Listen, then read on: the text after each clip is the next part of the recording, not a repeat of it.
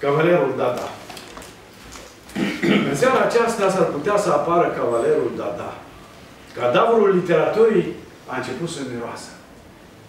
El se arată de regulă pe la sfârșit de viață, în amurguri aprinse, jumătate înger, jumătate porc de câine. Și doi ori doi nu mai vor să facă patru.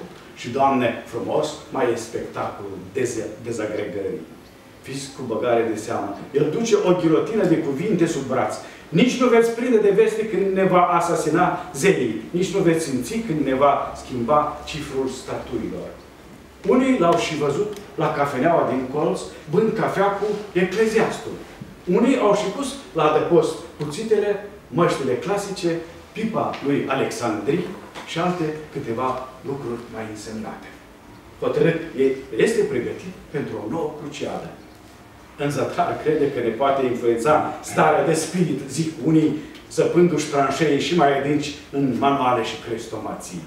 Ha, revoluționar de paia am mai văzut noi, răbufnesc alții, ghintuindu-și rimele și arătând cu degetul la noile generații. Dar e târziu. Pisica dezarticulată a gramaticii a trecut sfidătoare prin dreptul Academiei franceze. Cadavrul literaturii a început să miroasă.